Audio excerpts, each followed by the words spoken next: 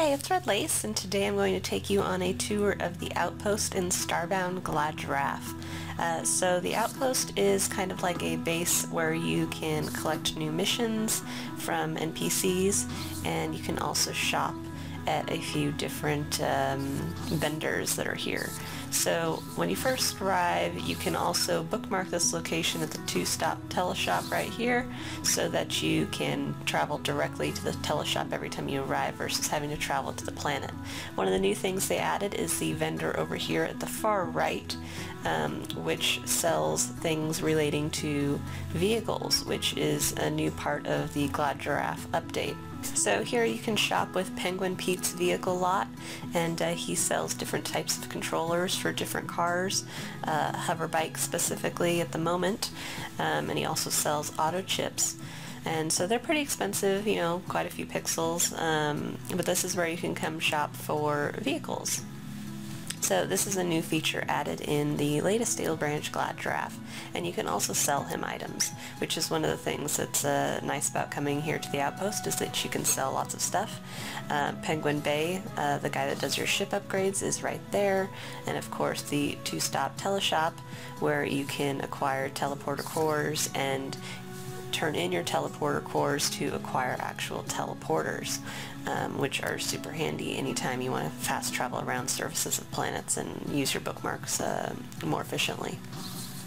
So if we continue on through the outpost, uh, heading up to the second floor, if we head all the way out to the right, uh, this guy, the ore merchant, will sell you um, iron bars, copper bars, and coal, and you can also sell things to him as well. Uh, so that's a nice thing to do if you spend a lot of time mining or you have an excess of equipment. You can also utilize the iron crafting table that's here, which is especially handy in the early game if you haven't acquired one yet. And if we come across here to the left, this is the scientist. Uh, he will give you a few missions while you're here at the outpost uh, during certain points of the game, so you'll want to check in with him regularly. And if you um, continue on, I can't help but push the buttons that are in the outpost. I just have to see if anything happens. So, but if you continue on, uh, the sign design gal's still here. Uh, this came out during Spirited Giraffe, so you can still make your own custom signs with her uh, printing signs and copying signs that you've already made. Uh, so definitely check out that feature. If we head up to the third floor and go all the way to the left, there is the Frog Furnishing Store, which uh, if you like I uh, tend to decorate a lot in your house, you can come here and buy decorations. You can also buy colony deeds, which if you place in a room with at least one door and a light source, someone will move in and you can become a landlord. And uh, I'll be doing a video later on how to become a landlord and what that entails uh, later on, so please subscribe to be sure to catch that video. But otherwise, there's some furniture you can buy here. Uh, he's got some featured items, furniture, and then, of course, the landlord deeds.